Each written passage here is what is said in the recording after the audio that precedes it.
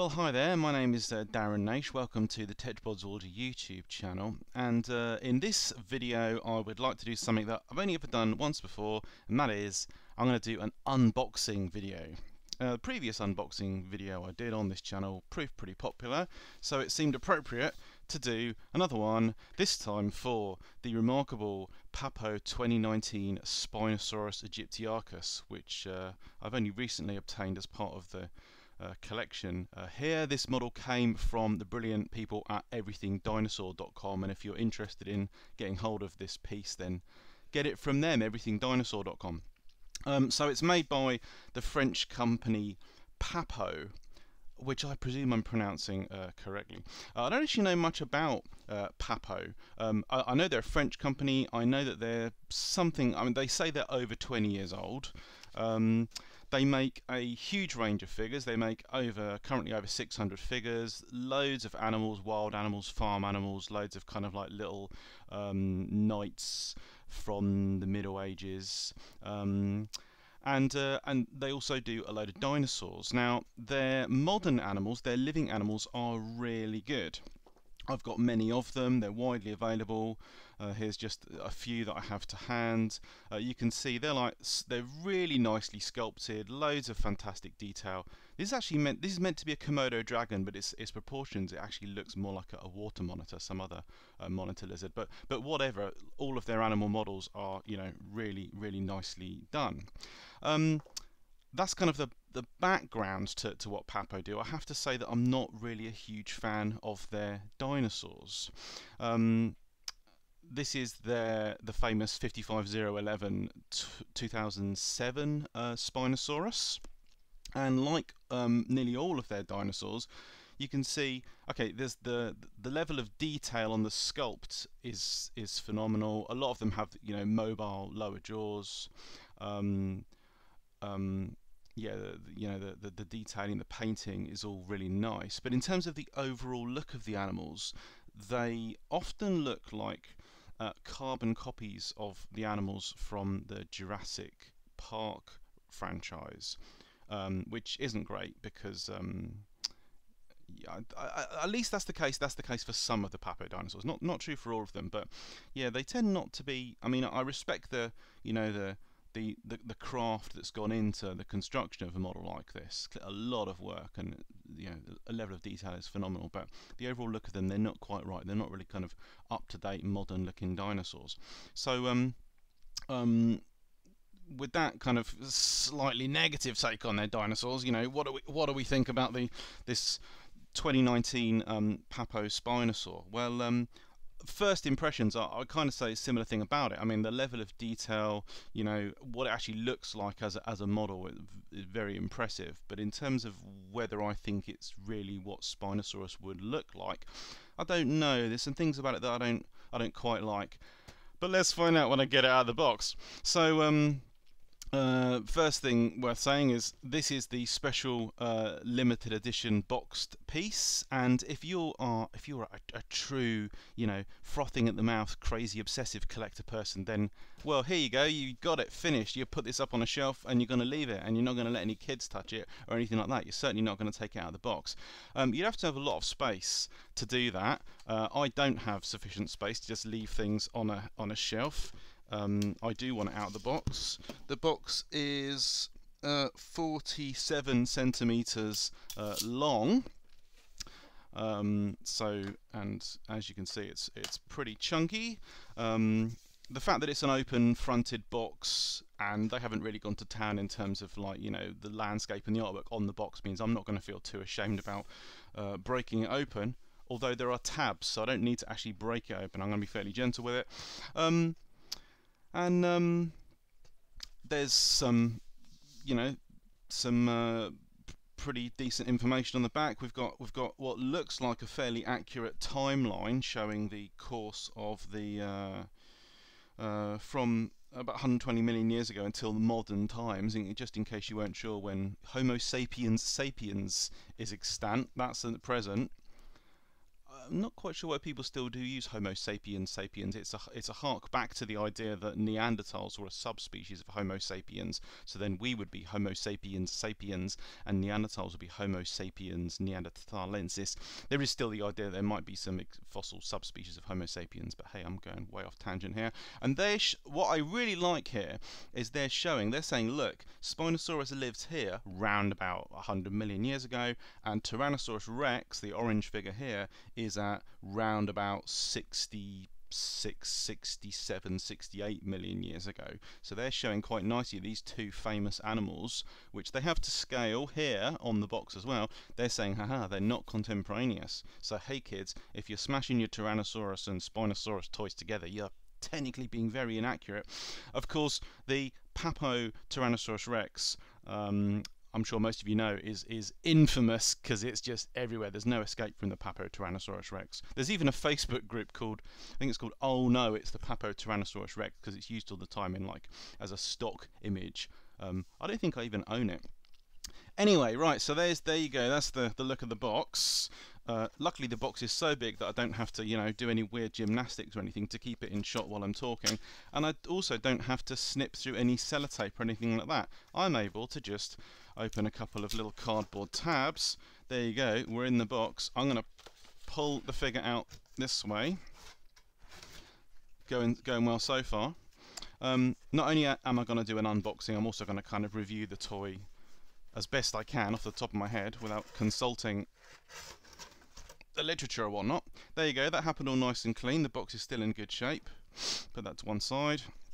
So now we have um, our creature um, inside a kind of plastic base where it's held in place by uh, clip ties which I have some sturdy scissors here. You'll need sturdy scissors uh, to uh, get through this.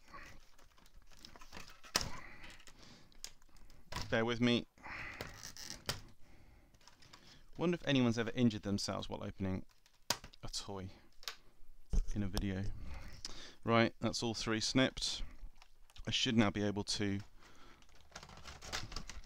lift uh, the, the the Papo sy symbol reminds me of IKEA, which is uh, my least favourite um, of the shops in the world.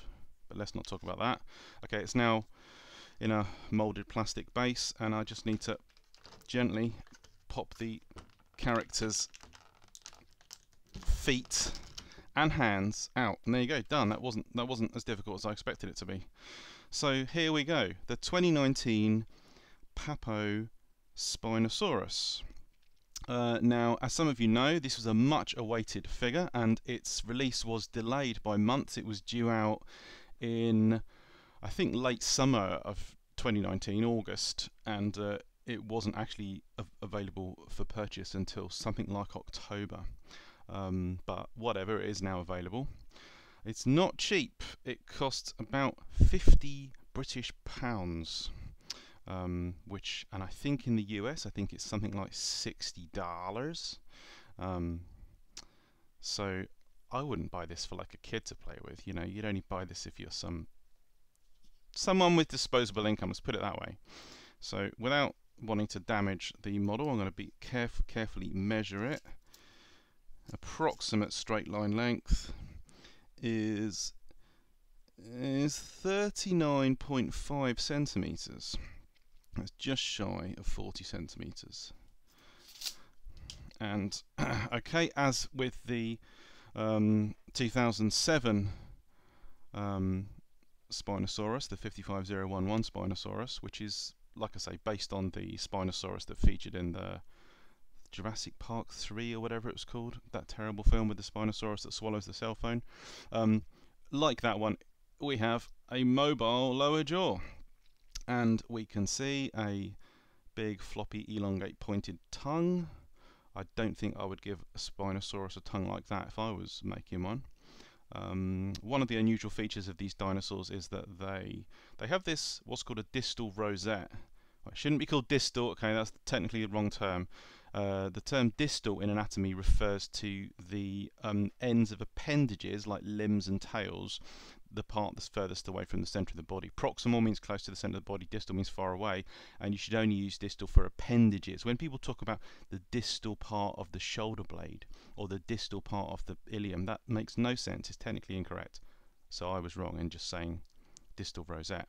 Uh, let's say anterior rosette. There's these, there's this kind of rounded um, like uh, part of the upper jaw, also in the lower jaw, where there are the, these biggest like fang-like teeth, and then posterior to that rosette at the front of the lower jaw, the two halves of the lower jaw are actually quite close together.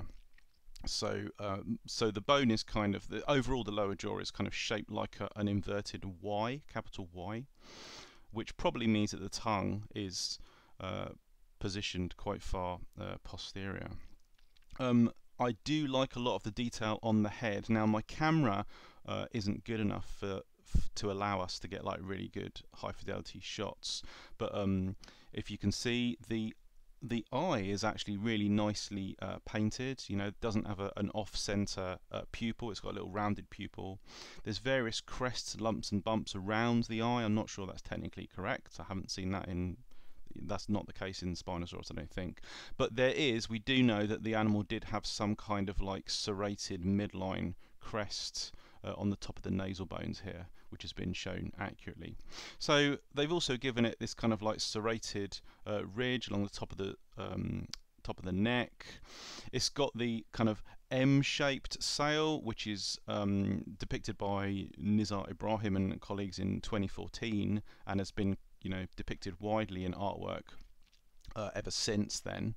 Um, still some argument as to whether it's exactly uh, accurate. Um, uh, and then the tail. Now we'll get to the tail in a minute because it, it's 2020, and I'm sure you've heard uh, the fuss about the tail of Spinosaurus. So as you can see, this animal has relatively short hind limbs relative to its forelimbs. Do I have something handy that I can stand it on. I've just grabbed the nearest book, which happens to be Hallett and Wedel's The Sauropod Dinosaurs. Um, so this animal does actually stand quadrupedally like thus. And you should be able to see that it is actually knuckle walking. Well, okay, I said that, but that's what most people have said, that, that if Spinosaurus is going to be depicted as a quadruped, then um, maybe it was a knuckle walker. And when Ibrahim et al. first published their quadrupedal model for Spinosaurus in 2014, they kind of Im implied, I can't remember, they, they possibly even stated that outright, that maybe the animal is supporting part of its weight on its on its forelimbs, um, you know, when it walks on land, when it's not swimming. But notice that, can you see, this model is not actually knuckle walking, as in it's not actually putting weight on the bones of its uh, fingers, like like that, or like that, it is instead putting all of its weight on its unguals. These are the bones that form the tips of your fingers and toes. In us, we only have nails on our unguals, but of course, if you're a normal animal um, or a, a, a, dinosaur, you have massive claws uh, sheathing your unguals. And notice that the Papo 2019 Spinosaurus is putting its weight on its claws. So it's not knuckle walking, it's engaging in a form of locomotion called nyctogrady. Nycto, is that right? that means nail slow. Nycto, uh, whatever. The name for um, a style of walking that involves supporting your weight on your um, unguals, on your claws.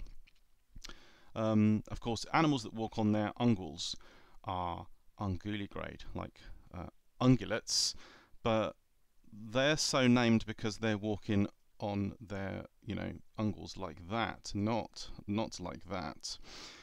Um, if I didn't already mention it, um, armadillos and pangolins uh, support part of their weight on the uh, extensor, you know, the dorsal surfaces of their unguals, like that. Um, I've written about this on Tetrapod Zoology a couple of times, and I have seen the name. I, th I, think it's nyctogrady, which just doesn't seem right. I have to check that, but I think it's nyctogrady, which means claw walking. Um, I'll use that term because it's less problematic than the other one. Um, yeah, they have made this Spinosaurus a claw walker. It's supporting its weight on the extensor surfaces of its massive claws. Now, is that plausible or is that possible? Well, what we know of the forelimbs of these animals, uh, no, there's no weight supporting adaptations that are obvious in their, their hands or their forelimbs.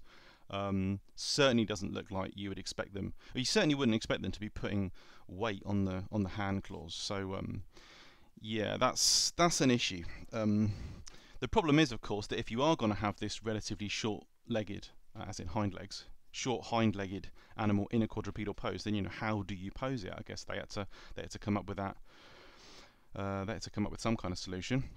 Notice the animal has got kind of you know its its forelimbs are sticking quite far out to the side, which again presumably it would have to to uh, um, yeah support that pose. I wonder if they based this on Davide Bonadonna's um, uh, various beautiful uh, color illustrations uh, which were done to accompany the Ibrahim et al. 2014 uh, publicity. Um, so yeah, again, I mean, yeah, really liking the details. I like the color scheme. I mean, this this isn't overstated. This looks like a sensible, um, you know, color scheme for a very big animal that's living in, you know, tropical estuarine habitats. Uh, you know, whatever. That's all cool. Um, mouth interior has got kind of like a reddish pinkish hue, which again looks pretty plausible. The paint job is pretty good. I mean, there's a little bit of um, overspill where the the slight off-white uh, coloration from the teeth has um, run onto the jaws in a couple of places, but it's not too bad. And, like I said, the eye is uh, they're obviously paying close attention to getting the eye right. Um, I'm not super keen on what looks like a slight lateral flexing of the uh, body. There's this kind of you know, vague, very loose uh, S shape. I cannot. I can't. No, I just can't. I can't do that because I'm looking at a mirrored version of myself. There's a vague S shape to the the spine there, which um, I don't know. It doesn't look doesn't look like anything really over the top, but um, yeah, it sort of gives the animal like a weird sinuosity that uh, something about that I'm just not super keen on. Uh, the, it does obviously look uh, oddly proportioned. You know, the body looks uh, really quite long um, compared to you know what what you would have expected pre 2014. But but but that is that that look is in keeping with the Ibrahim et al 2014 reconstruction. They said it had a you know a longer tail, uh, a longer body. Um, the number of um, uh, tall spined vertebrae that make up the make up the dorsal sail. I think it should be about 20. 1, 2, 3, 4, 5, 6, 7, 8, 9, 10, 11, 12, 13, 14, 15, 16, 17. Oh, well, maybe it's 17. I don't know. I don't have any of the data in front of me. Uh, 17 is pretty close to 20. I think that's correct. I can't believe they wouldn't have got that right. So in 2020, as you'll know, unless you've been hiding under a rock, uh, Ibrahim et al. have um, published this uh, discovery of a, a tail uh, of Spinosaurus aegyptiacus, which shows that this animal had a really deep, laterally compressed kind of tail that looks like it was a swimming tail. It looks like it was a sculling tail. Now, when Papo made this figure, and given that they released it in 2019, they would have been making it in 2018 and early 2019, I guess possibly possibly even earlier. I don't know. Don't know how long it takes them to put the models together. Um, they obviously didn't know that. So uh, if they had rigorously followed the Ibrahim et al. 2014 reconstruction, as they seem to have done for the rest of the animal, then they should, air quotes there, they should have given the animal a a slender, uh, more you know pointy tail without any kind of you know fin uh, dorsally or, or ventrally. And I also get the impression, uh, don't have the Ibrahim et al. reconstructions in front of me. I wasn't clever enough to get those. Um, they probably should have made the tail, I think, longer. I get the impression from um, what I remember of the Ibrahim et al. skeletal that the tail is proportionally longer than it is in this Papo model, and also, yeah, uh, shallower, and you know, longer and more pointy. And instead, Papo have um, gone with this relatively kind of newt-like uh, tail, eel-like tail, with a hypothetical uh, you know, fin that's on the dorsal and ventral surface. So that's a complete speculation on their part, which they're obviously saying is in keeping with. Um, I was just looking at the words on the box to see if they mention it, and they they don't. Um, there, that text on the box on the box just says um, it says aquatic hunting position, articulated jaw, hand painted figurine, and a French creation. Um, if I didn't say everything Papo is Papo is a French company. Everything they do is made in France. Um, Spinosaurus aegyptiacus was a giant over 15 meters long, close to the largest known theropods such as Tyrannosaurus hyphen rex with a capital R. So points off for that if written Tyrannosaurus rex incorrectly. Um, so yeah, they don't they don't talk about the justification for this, but this is a speculation. You could say that it that it's you know turned out to be a pretty sensible speculation in view of this new data on what the tail seemingly was actually like. It's not, um, to my knowledge, I'm pretty sure it's not evidence of prescience or you know them knowing what was going on before it was published. It is just a fluke. Um, and if this tail were to be modified today in view of the 2020 publication by Ibrahim et al., then the tail should be uh, even even deeper and um, more uh, laterally compressed, um, and you know more obviously like a, a swimming uh, tail. Um, notice also they've done this kind of hypothetical, um, like crocodile-like uh, scutes on the side of the neck, body, and tail. Um, there's no evidence that those structures were present it's not really a tremendously bad idea to have them, but it's not really a good idea either. I think they're just added there to, you know, give the animal more detail, make it look more interesting, maybe make it more, you know, vaguely more crocodilian. Um, but if you want this animal to be like a streamlined swimmer, then you probably wouldn't have features like that because amphibious uh, and aquatic animals generally don't want, you know, things that can uh, uh, interfere with streamlining. Um, yeah, but you know, crocodilians have them, so um, maybe that's why they why they did it. Now, of course, if you know anything about model dinosaurs and model spinosaurs in particular, you'll also know that this is not the first um, Ibrahim et al. style uh, Spinosaurus. In fact, by now there's actually a whole load of them. Um, I have been keeping up with them, but the only one I have with me here, most of my stuff is in storage for reasons you don't need to worry about. The only one I have here is the 2019 Safari uh, Spinosaurus, which as you can see is also a large figure. And um, notice also, yeah, they've gone for the unusually short hind limb proportions. They've got it, they've got it in a swimming pose. This figure is obviously meant to be swimming. It's not meant to be walking, unlike the the Papo one. And notice also that it's been given crocodile-like uh, dorsal um, scutes running along the neck, back, and tail. And they've also given it even a crocodile-like row of uh, serrated uh, scutes on the on the tail. Oh, and uh, webbed toes. Um, this doesn't have any mobile bits and pieces, but um, still, it's still, still a cool figure. I like it. Uh, CollectA have also done uh, three swimming yeah, Ibrahim et al. style Spinosauruses, two um, well, one that's swimming, one that's walking, and then a deluxe one that's much larger, and I think is also walking. I've got I've got all those uh, somewhere, but um, but yeah, but Papo 2019 uh, takes the proverbial. What's that phrase? Takes the takes the biscuit or something. Um, I just noticed, yeah, webbed toes. The Safari one just reminded me of that feature. Um, so I really, I really quite like the the detailed look of the look of the foot there as it's as it's clenching. But whether they've actually got the toe claws accurate as per as if everything in Ibrahim et al 2014 is dead accurate.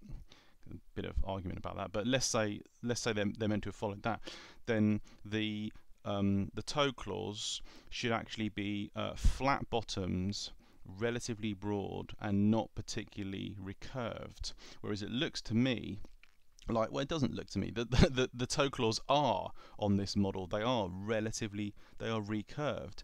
Um, can you see that? As is typical for you know as as, as big theropod toe claws are normally uh, portrayed. It's just been um, yeah they've, they've given it that model.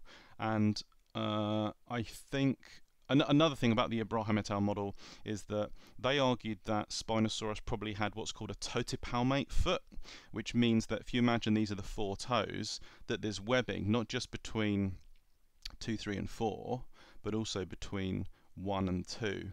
So like a, pelicans are an example of animals have a totipalmate foot. You have this like big thick webbing between all four of the toes. And Ibrahim et al. argued that for Spinosaurus, but it doesn't look like we're definitely seeing it in Papo 2019 Spinosaurus. Digit 1, the hallux, is um, yeah not as descended.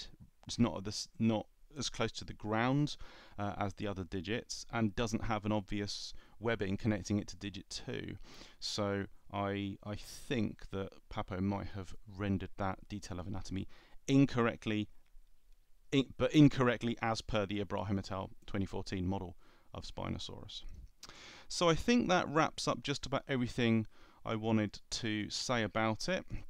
Um, I probably will keep the box. I'll have to stash it away somewhere. I won't be putting it in like the display cabinet with the other figures. I really like the idea of you know having like a bunch of figures sort of next to each other. I mean, I've got enough Spinosauruses, uh, just Spinosaurus Aegyptiacus alone to have like a whole shelf of the damn things. There's so many of them, and I'm always accruing new ones.